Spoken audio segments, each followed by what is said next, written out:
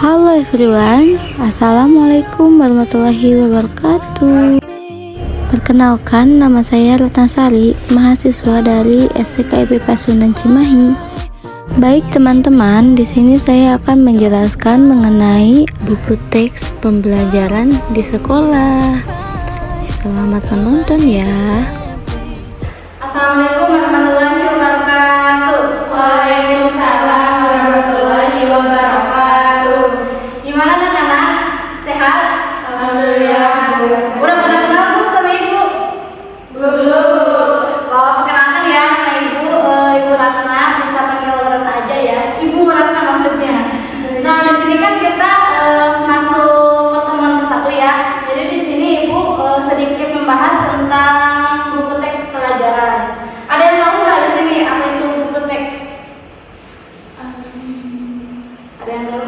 saya Bu izin menjawab. Boleh namanya siapa? E, nama saya Rita Yuniawan.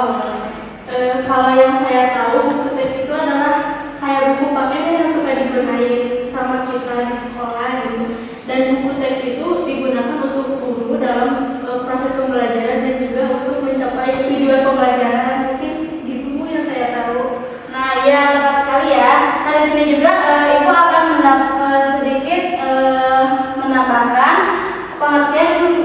sendiri. Nah, buku teks sendiri itu acuan atau cabang ilmu di dalam suatu buku. Nah, kalian kan uh,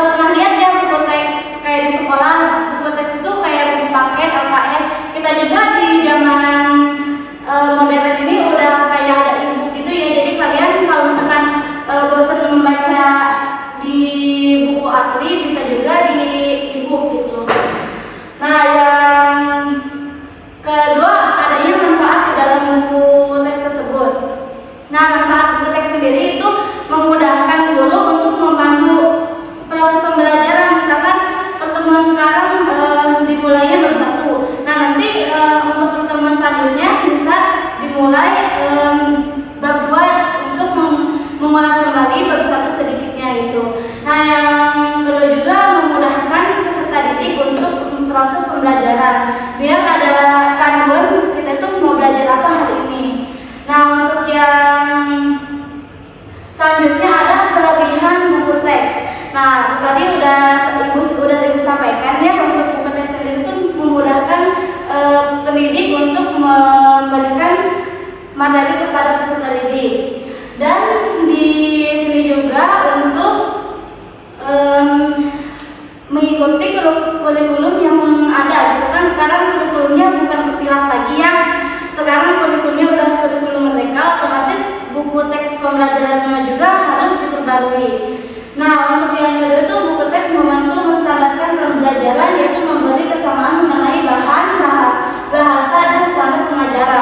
Nah misalkan uh, kita untuk di tahun-tahun sebelumnya kan pembelajarannya beda ya sama sekarang. Kita juga harus uh, bisa uh, ikut dengan kondisi keadaan zaman sekarang gitu. Jadi pembelajaran itu jangan stuck di zaman-zaman dahulu aja. Jadi sebuah proses juga bisa dibaharui. Nah yang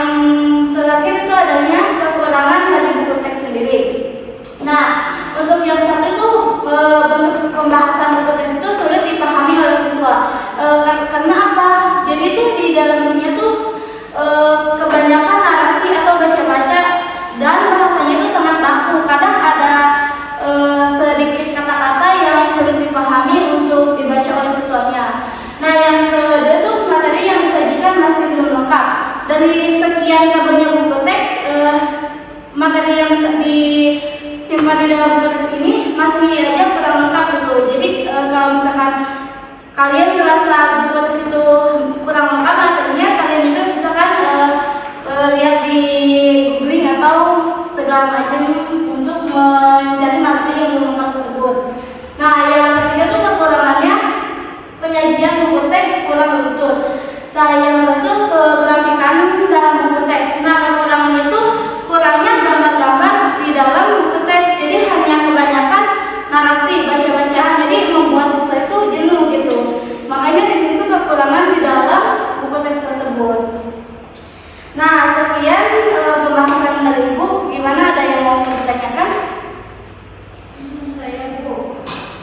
silakan namanya siapa? Nama saya Nurul Bu. Boleh. Uh, bu kenapa ya kalau buku teks itu terlihat kaku dan mengesankan? Gitu? Oh iya, tadi kan sudah singkat jelaskan ya uh, untuk isi di dalam buku teks sendiri itu kebanyakan uh, narasi atau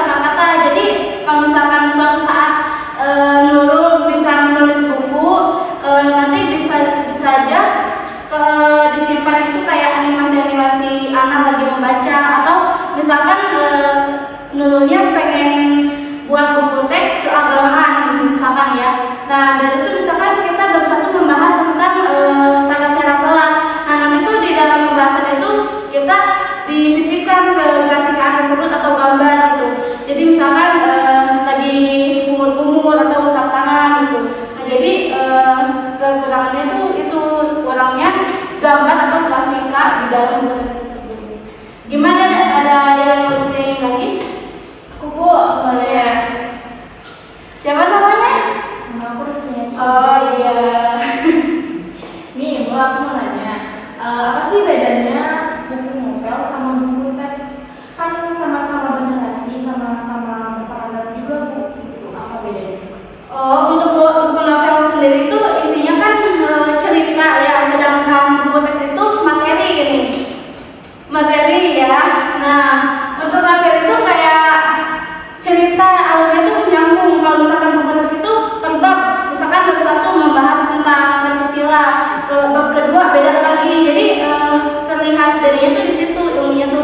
Então, Itu juga